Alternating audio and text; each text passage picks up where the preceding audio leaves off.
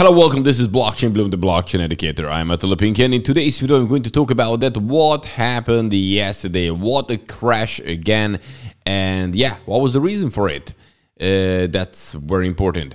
The second thing I would like to mention that yesterday was, you know, Bitcoin day in El Salvador because since yesterday uh, Bitcoin is legal tender in El Salvador. So big news. And the third thing is that SEC, uh, the SEC, threatens to sue Coinbase over crypto yield program it considers a security. And this is the reason for it. Guys, all this in today's video.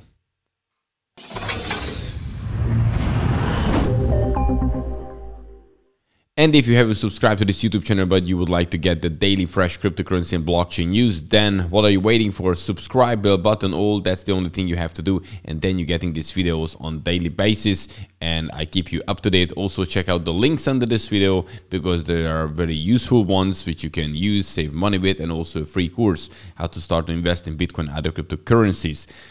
And yeah, smash the like button if you like this kind of content. And now it's time to check out the market, how that looks like. And um, let's zoom in a little bit because we can see that, you know, Bitcoin went down 13.7% in the last 24 hours, Ethereum 15.7%, Cardano 15.7. So yes, after many, many weeks just going up or a little bit sideways, we have here uh, a kind of correction. When we're looking at uh, the winners, we still have Near Protocol going up 30%, Algorand 9%. Yeah, that was it pretty much. Not a long list. And when we're looking at the le yeah losers, 29% Theta, Filecoin 26, Cosmos 25, and so on and so forth. So yes, definitely a bad uh, bad day, put it this way, but like um, a red day, a red day today. Because what is bad, if it is good, you know, uh, it depends. And let's talk about what happened really, what caused it, and all these things. So let's do it.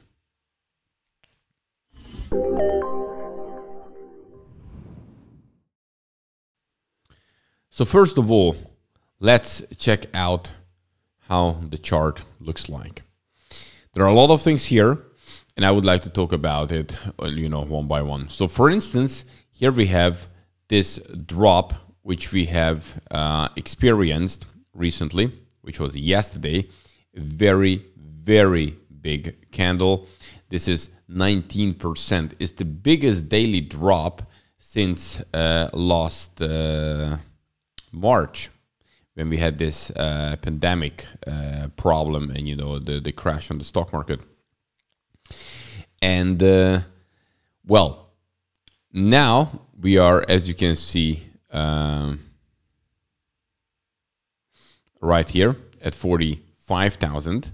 So actually it's still, you know, uh, it's going, uh, going a little bit down, but yeah, we came uh, above this level and actually I drew this Fibonacci uh, retracement tool, which actually helps in many cases.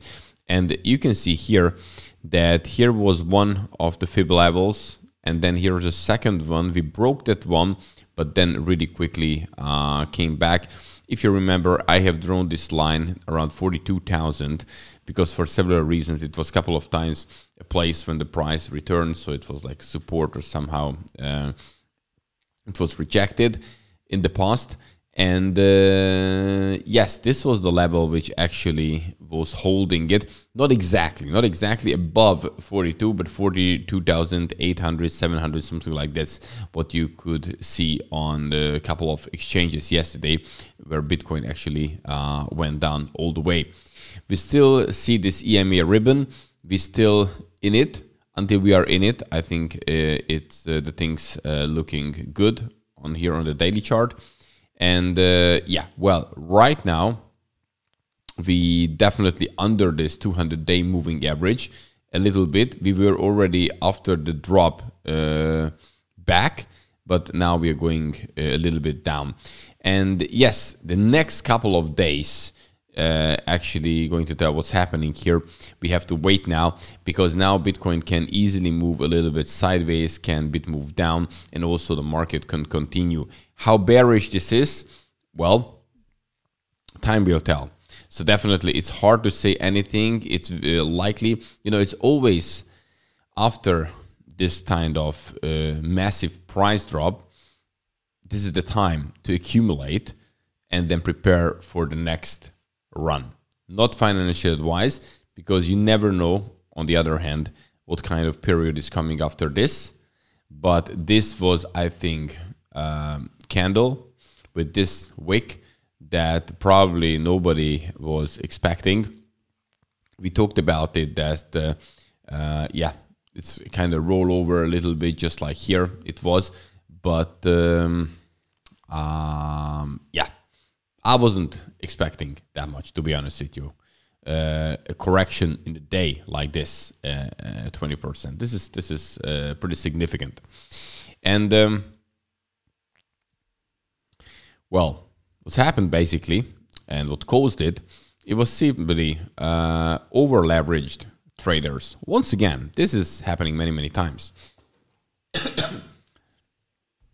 so, when everything looks very cool and price is going up, people are willing to risk more and more and they over leverage a lot of things and that's the reason why basically uh, the price dropped down uh, that much you, you know look amount of liquidations in the past 24 hours exchange is totally 3.54 million uh, what's that? Billion us dollar.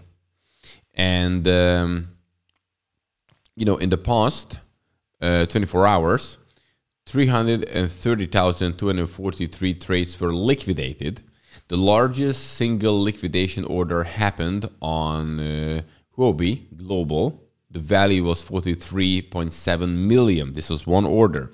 Here you can see the list. Uh, which one is the, the, the top one here? Uh, the mode, the buy, uh, Bybit. Here you can see the percentages, here the amounts. Uh, yeah, just, just, just, just have a look. It is crazy what happened. And uh, yeah, also here, when you look at the uh, Bitcoin liquidation, you know, here you can see the longs in this darker color and the reddish the shorts and how much it were they were liquidated. And look, this is this massive candle. Look, in the, since since June, you can see this chart. Also, Glassnode posted on Twitter that you know here the local highs and over 4 billion in bitcoin open interest has been cleared during this sell-off. So this is the most significant leverage flush out since the sell-off in mid-May. You know the the, the big one what we had uh, recently. And this is the reason why I'm always telling you guys that please be careful with this whole kind of tradings.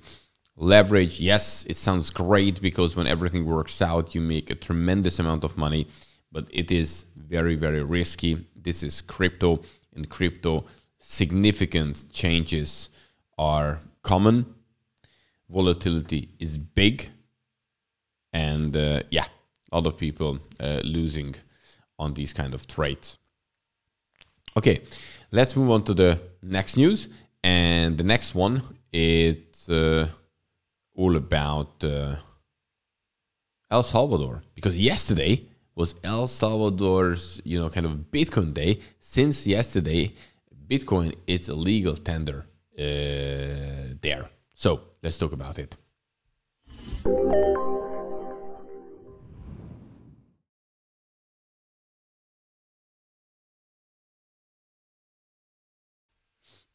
Okay, I'm back. I just have a kind of flu or something, and then I just had to uh, clean my nose.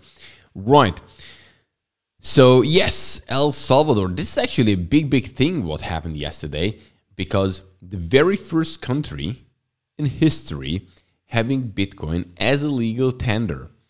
And uh, some people saying that this is the reason what caused this kind of uh, crash because this kind of news was were priced in. It's a big, big thing. And now that it's happening, then the Bitcoin price uh, therefore uh, started to drop, then panic, and then this over leveraged thing just crashed the whole whole whole uh, price, and actually not just Bitcoin, but all other uh, cryptos.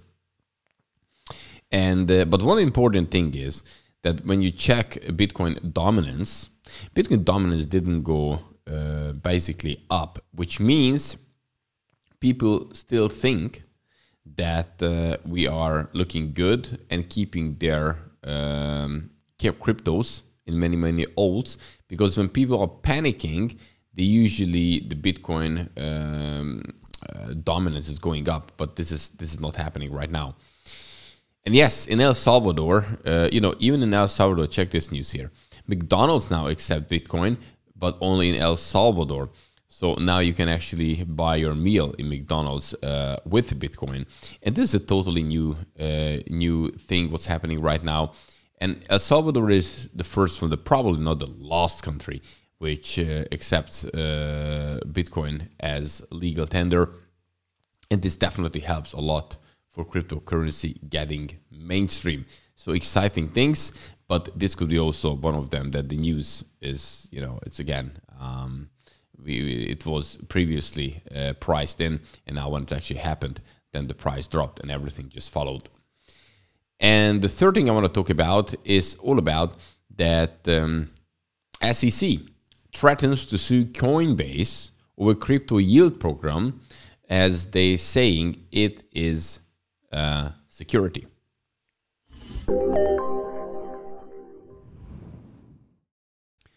Well, we have this couple of SEC lawsuits against the crypto. You know, we do know about XRP.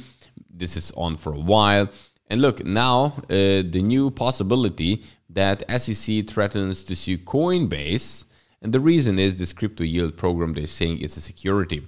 So Armstrong explained uh, from Coinbase uh, that the crypto exchange approached the SEC earlier this year to brief uh, the enforcement body over the up and the coming Coinbase Lend program that intends to offer 4% annual yield returns on deposit of the USDC stablecoin.